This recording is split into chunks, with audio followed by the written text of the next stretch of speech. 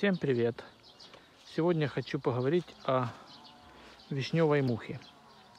У нас сегодня 1 июня, цветет акация. И вот именно во время цветения акации наблюдается массовый лед вишневой мухи.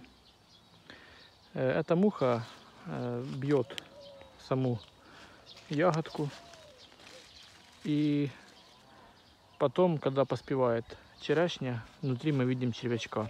Это все вишневая муха. И вот, э, когда цветет акация, ну, примерно в таких числах, надо обработать черешню от вишневой мухи. Я использую препарат Актелик от вишневой мухи. Он применяется на черешні вишневая муха и попелиця, и на клубники, клещи, сунечна листовертка, довгоносики. Э, смотрите, обработку э, нужно делать вот именно в это время, когда цветет акация. Смотреть по акации. Только она зацвела, обрабатывайте. Актелик, он действует э, не один день, там, по-моему, две недели действует он. Для улучшения добавлять можно любой прилипатель. Тогда препарат остается на листках и не смывается дождем. Если у вас идут дожди, либо прогноз стоят дожди, ну, вот смотрите, сейчас ягодка э, красивая, но вот мы видим, уже есть вот такая штучка. Это уже вишневая муха уже ударила сюда. Ну, сейчас я буду обрабатывать актиликом. И еще, наверное, повторную обработку сделаю. Ну, многие советуют когда начинает только розоветь ягодка. Это вторую обработку повторную сделать э, для гарантии. Потому что, ну непонятно. Я сейчас так смотрю, вроде как вишневой мухи и нету на деревьях.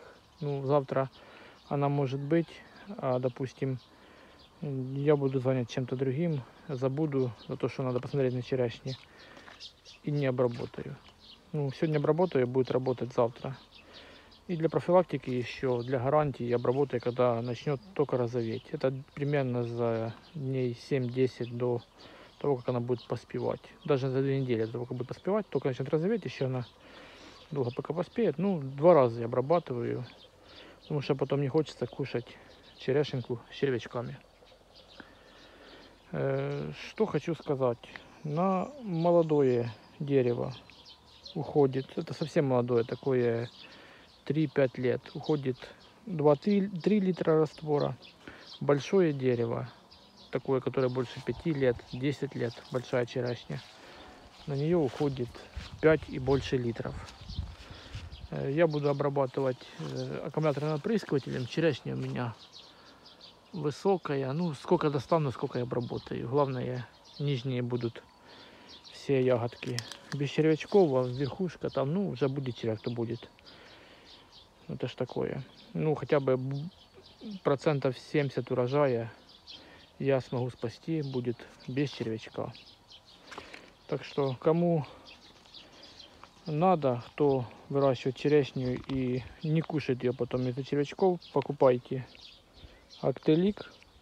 Покупайте не на рынке, старайтесь в каком-то магазине специализированном, интернет-магазине проверенном, чтобы не подделку купить.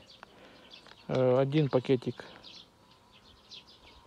на 5 литров воды. Вот таких два пакетика на 10 литров. И обрабатываем. Добавляю прилипатель. Других каких-то фунгицидов на черешне я не использую. Потому что не наблюдаю никаких болезней на черешне или вредителей, кроме вишневой мухи. Кому было полезное видео, ставьте лайк. До новых встреч!